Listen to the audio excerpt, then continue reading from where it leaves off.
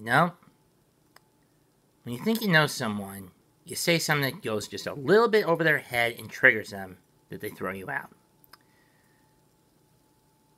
I want to say thanks to everyone who has watched any of my any of my videos that relate to pro wrestling, for better or worse. That said, those in the TwitWow community, I want to say this. Everyone in that group has pretended to be my friend. So long, I stuck along political lines. But COVID has brought out the worst in them. Every one of them has pretended to be my friend.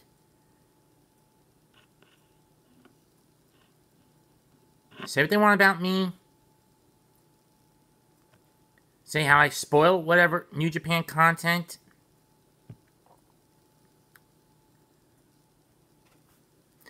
Everything they happen to be turns out to be nothing but liars.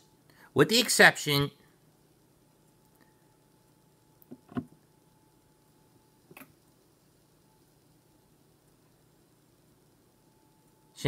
of John and Ashton. They've always been open about their hatred of my political standpoints.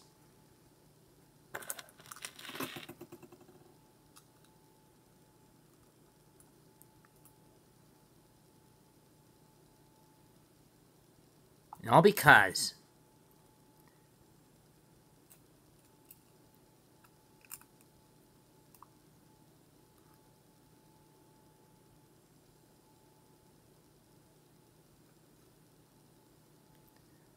I stand on a completely different political perspective than they do.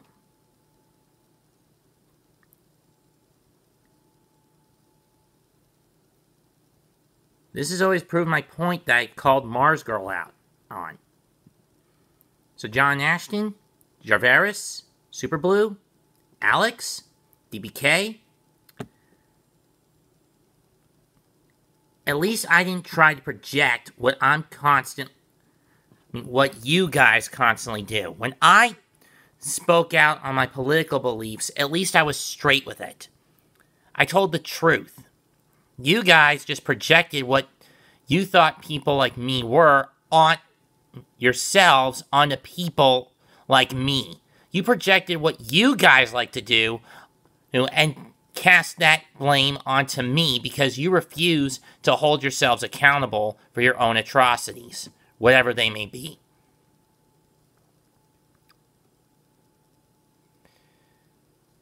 It's basically the Vic Mignogna case on a wrestling scale. Every single one of you pretended to be my friends. The only difference between my case and Vic is I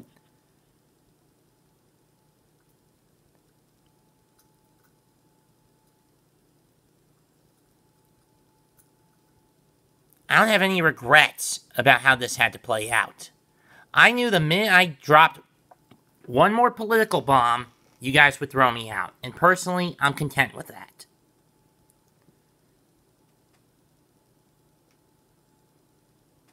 You probably lost one of your biggest nerds within the community, John Ashton. And all because you chose to get political in your streams. You know that that sort of thing actually does your streams far more harm than good. When you look at guys like What Culture, Cultaholic,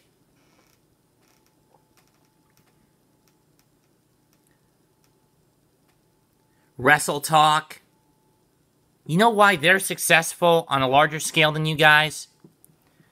They choose to leave politics out of the wrestling content. You guys are full blown throwing it in just to flaunt your egos.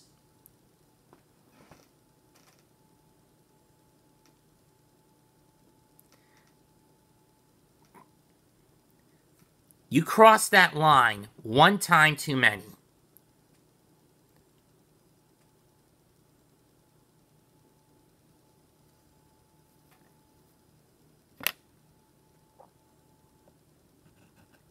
So woe to you, Twitwow, you hypocrites. You clean the outside of the cup and dish, but inside you're full of greed and self-indulgence.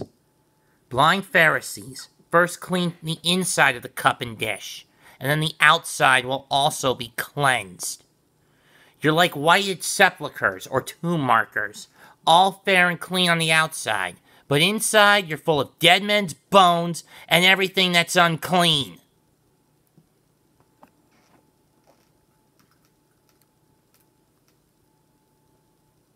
You don't want to hear a direct, this is a direct message? You don't want to hear this as a video? Fine. You can block me all you want. I'm not going to stop you.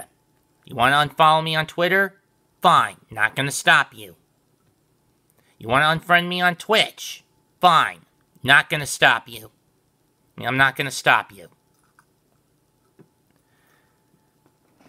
But you chose to get rid of me for political reasons. This is why I choose not to get woke. I, mean, I chose to stay unwoke. Why I chose to wake up to the truth that's going around. Even if, no matter how hard the media tries to hide it. That said, you guys can take your candy asses and take your candy ass Democrat political viewpoints and shove them up your asses from here on out. Because I'm going to unsub to you clowns. Not that you give a rat's ass. And I'll tell people to never recommend your channel again because how overblown political you two clowns have become.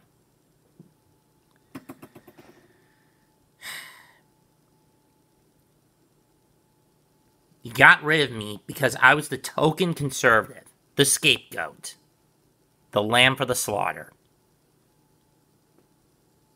And that's just not right. You guys want anyone who wants to share this rant, please do so. Smash the like button, leave a comment. You want to leave me my your sympathies? That's fine.